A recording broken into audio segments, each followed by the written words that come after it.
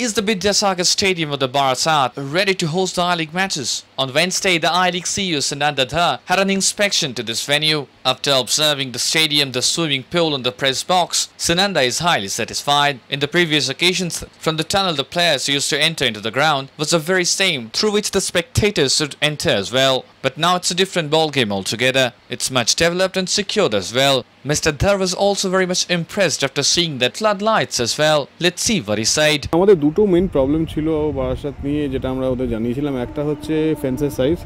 আর একটা হচ্ছে প্লেয়ার এন্ট्रेंस আর স্পেকটেটর এন্ট्रेंस একই ছিল তো এই মতে obviously ফেন্স ওরা বাড়িয়ে দিয়েছিল তখনই আর এখন ওদের যে প্ল্যান দেখছি তাতে প্লেয়ার এন্ট्रेंस टोटালি আলাদা করে দিয়েছে স্পেকটেটররা অন্য জায়গা থেকে উঠবে ভিআইপি এবং অল अदर স্পেকটেটর আর মিডিয়া লোক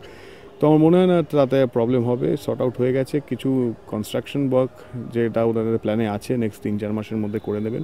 সো পরের সিজনে সেপ্টেম্বর অক্টোবরে যখন আমরা আই লিগ শুরু করবো তার মধ্যে সব রেডি হয়ে যাওয়া উচিত